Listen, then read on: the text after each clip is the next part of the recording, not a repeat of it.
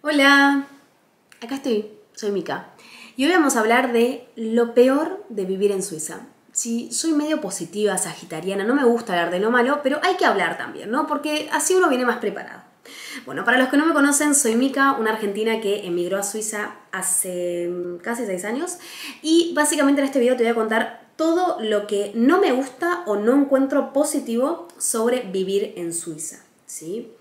Lo primero que vamos a hablar es, em, va, primero suscríbete y dale like a este video o suscríbete y espera a ver si te gusta, pero suscríbete así me ayudas un montón. Por otro lado, em, lo primero que vamos a hablar de eh, Suiza. ¿Qué es lo malo? Bueno, lo malo, lo primero que viene, se repite, ¿no? Es pagar por absolutamente todo.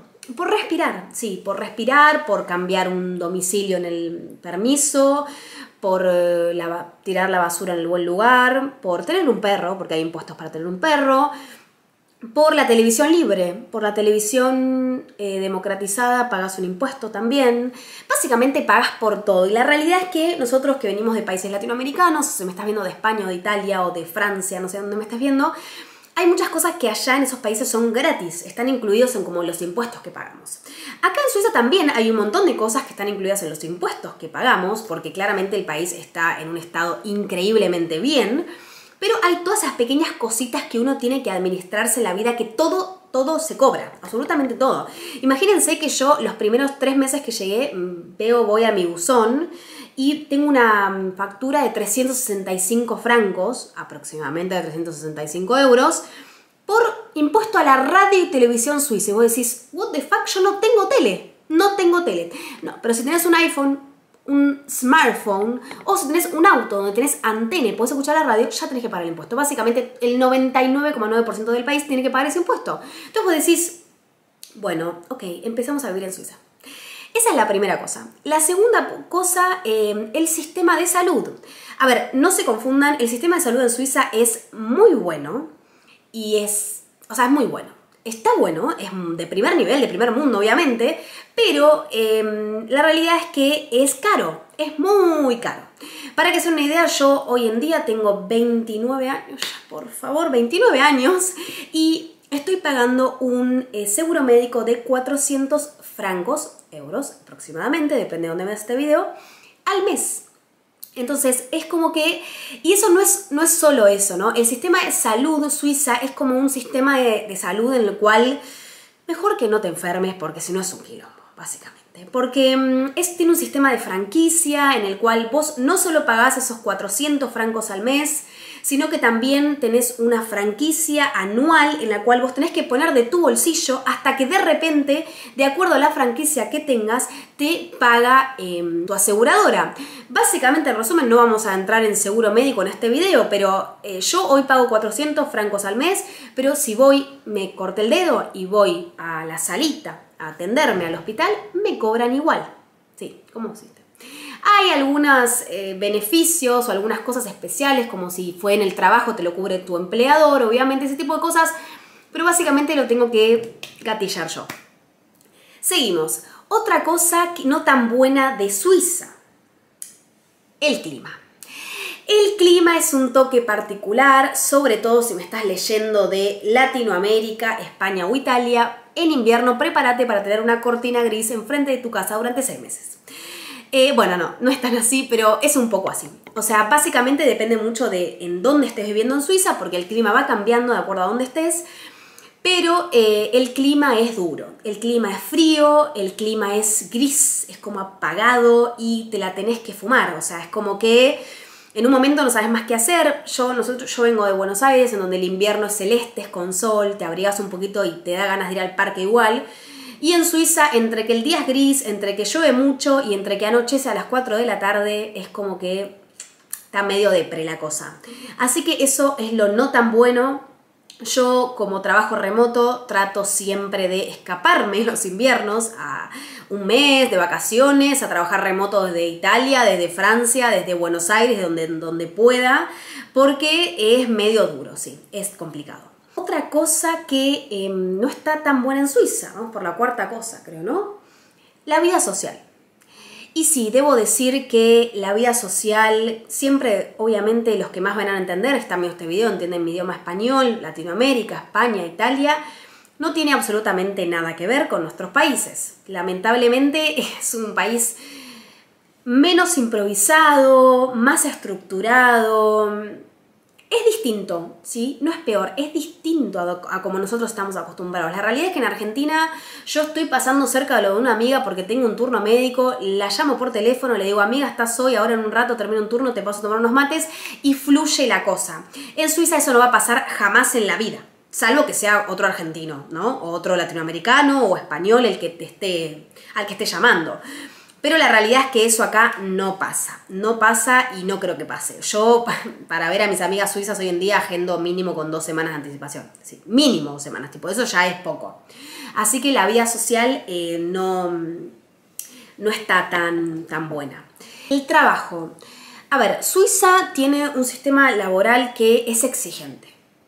Es exigente, pero no de la misma exigencia, siento que es distinto, es distinta exigencia. Quizás voy a dar un ejemplo argentino, pero nosotros en Argentina tenemos que, tenemos que trabajar como todo para ayer, todo para allá, todo lo hiciste ya, lo hiciste ya. Y lo que más nos piden es, es, todo más eh, como desorganizado, porque es la realidad, es más desorganizado, es... Em, más como improvisado, eh, todo medio rápido, todo resolviendo cosas al último momento. Es como muy así el sistema laboral en Argentina. Y en Suiza es todo lo contrario. Es todo se planifica, se ordena todo. Ahora no vayas a tener un error en tu trabajo porque es una catástrofe. Yo me acuerdo eh, las primeras semanas, los primeros meses con mis primeros trabajos en Suiza, que eh, yo, claro, uno está, es nuevo, intenta, intenta hacer todo bien y hacer un buen papel. Imagínense mi primer trabajo en Suiza, yo tenía 24 años. Em, la realidad es que mm, una vez mi jefa, claro, cuando uno hace las cosas rápido, no salen bien o sea, no salen 100% bien. Siempre hay errores, porque yo venía con ese chip de Argentina. Mi jefa viene y me dice, Mica, vení un ratito, un momentito. Me dice, che, Mica, veo que hacéis las cosas como medio rápido, que está todo rápido, qué sé yo. Acá no trabajamos así, me dice. Acá yo necesito que vos me digas, no sé, Mica, necesito que tengas esto. Yo te pido y te digo, Mica, necesito que tengas esto para listo. ¿Cuánto tiempo estimás vos que puede tardar? Vos agarrás y me dices si querés un mes, dos semanas. Pero cuando me dices que está listo, eso está revisado por vos 400.000 veces. Está perfecto, no tengo que estar todo el tiempo yo diciéndote, Mica, revisa esto, Mica, revisa esto. Y la realidad es que sí. Y nosotros que, estamos eh, acostumbrados a otro tipo de, trabajos, como que quizás llegas acá y te sentís como que todo tiene que estar perfecto, porque si no es como que hay un, quilombo. Por otro lado, eh, nos abre de la vida social, pero la sociedad es como más, es cerrada. Es cerrada.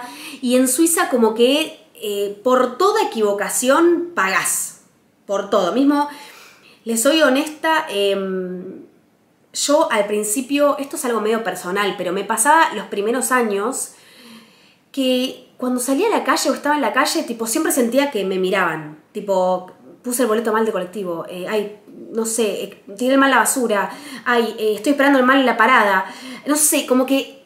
Pero bueno, esto es muy personal, pero he charlado con amigas que a veces suele pasar.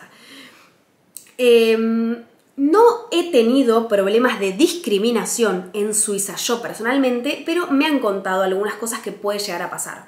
Aunque en general, debo decir que en Suiza están muy abiertos a, lo internacional, porque hay mucha gente de muchas partes del mundo acá. Entonces, no es un país característicamente tipo discriminatorio desde mi punto de vista, pero sí, a veces sentís que sos el sudaca.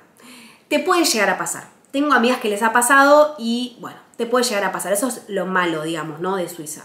¿Qué otra cosa más? Bueno, viven para trabajar. O sea, viven para trabajar. Acá en Suiza todo cuesta carísimo.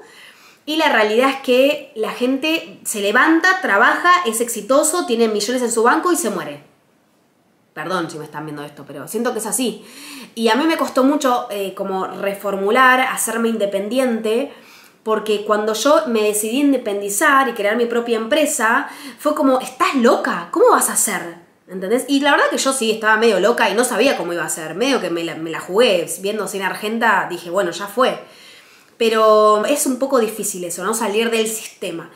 Eh, eso es un poco difícil porque funciona, la gente, la gente está cómoda, todo funciona bien, eh, ganas bien, vivís bien, entonces es como que salir del sistema es como, ¡ah! Quilombo. Em, pero bueno, esas son las cosas que yo creo que no son tan buenas de vivir en Suiza.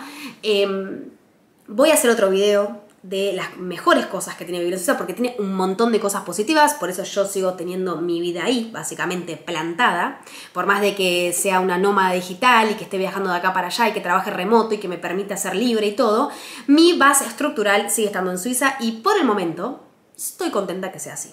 Así que bueno, nada, déjame en comentarios qué te pareció este video, si te gustó, si no te gustó, qué comentarios te, tenés, qué dudas, lo que sea, para así crear más contenido que les interese sobre Suiza para ustedes. Dale like a este video si te gustó, compartilo, seguime, suscríbete al canal y seguime en mis redes también, que básicamente muestro mi vida por el mundo Suiza y un montón de cosas más.